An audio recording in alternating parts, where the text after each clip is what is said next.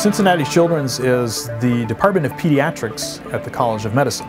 At Children's Hospital itself, where the graduate program is located, there are more than 11,000 employees, so this is a big place. This is one of the few programs in the country where a PhD program is integrated in a Department of Pediatrics and with a children's hospital. I think most people go into biomedical research because they're interested in asking questions and they want to give something back. And here at Cincinnati Children's, uh, you can do both. I never imagined I can make time-lapse movies using confocal microscope. I can see the cells in the embryo really moving.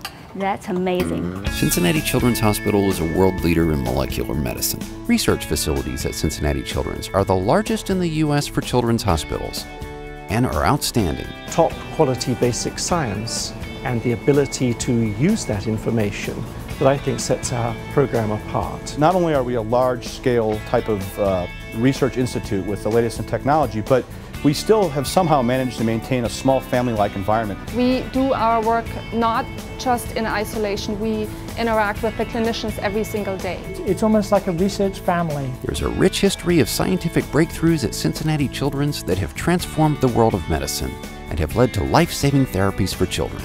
The oral polio vaccine, developed by Dr. Albert Sabin at Cincinnati Children's, the world's first functional heart-lung machine, and most recently the pioneering work of Dr. Jeffrey Whitsett on surfactant replacement therapy. In the intensive care unit here, we have many babies who have difficulty breathing, and many of the challenges in the transition from intrauterine life to postnatal life and air breathing require the maturation of the lung. Other scientists, like Dr. Jeffrey Robbins and Dr. Jeffrey Molkentin at Cincinnati Children's, have received national recognition for their work on heart disease. Dr. Molkentin is funded by the Howard Hughes Medical Institute.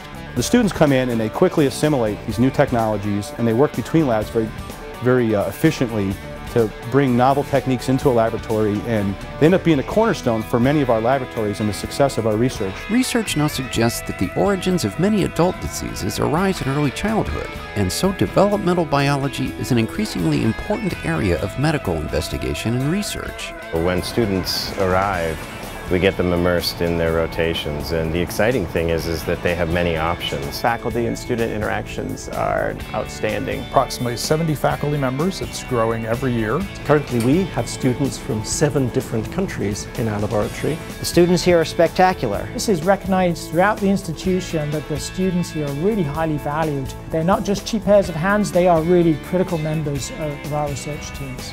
So a combination of cutting edge facility and research and a collaborative environment really makes it one of the best places to be.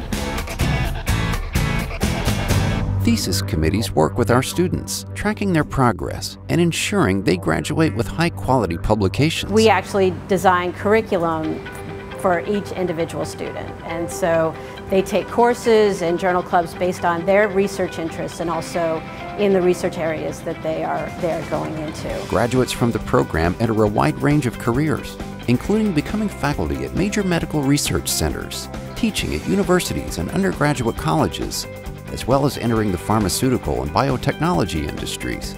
I never thought that I would get to teach so many um, summer students in my four years of um, graduate career so far and it's been an amazing experience. We really spare no resource when it comes to you know, using the latest technology and bringing that to the forefront to identify new ways to find genes and, and think about treatments for human disease. There's money for students to go to conferences that otherwise they might not be able to go to, to present their research and to gain a better understanding of the current research in the field. Because Cincinnati Children's is a world leader, it doesn't impact just at this campus, but we disseminate our knowledge across the country and across the world. Very challenging, but yet at the same time, it's very rewarding. It's exciting to know you're doing something that someone else has never done before. Very rewarding to think that you're really putting together a piece of the puzzle. You're actually working on something that's important and it's helping families. Overall, I think everyone's on the same playing field and the overall goal is to help cure disease. And the graduate program here is, is almost the glue that binds us all together. Cincinnati is a very nice place to live in, Located on a bend in the Ohio River with four distinct seasons, there are many attractions in or nearby the city. If you want to go to the opera, if you want to go to the ballet, if you want to go to the orchestra, if you want to go to a band concert, if you want to go to plays, all of that's essentially, literally minutes away uh, from the workplace. Really fell in love with the city, most, mostly because it's just so easy to live here, and it's still large enough where there's enough kind of cultural flavor to the city that, that you can really enjoy yourself as well. One of the best zoos in the country, Kings Island Amusement Park, great art galleries, and performing arts are also major attractions. Community as a whole is just active and fun. I love Cincinnati. The cost of living in Cincinnati is low compared to other major cities, and students can expect to afford a good standard of living. We take about 10 to 13 students, new students, each year. A very unique type of student who really wants to make a difference in terms of not just science but also medicine. Once students have applied and their application is reviewed, they're invited for an all expenses paid interview. We fly them in, pay all the expenses, um, put them up in a really nice hotel, and then they come here um, to interview with the faculty and also to meet the, um, the other students in the program. All of the students' tuition expenses are paid by the program, as well as competitive student stipends, health insurance, moving expenses, and of course, excellent training. They have a very competitive stipend, so I would put that out there as well. And a student can go anywhere here and do anything that she or he wants to do. The only limitation is the amount of information that you can absorb and your capacity to work.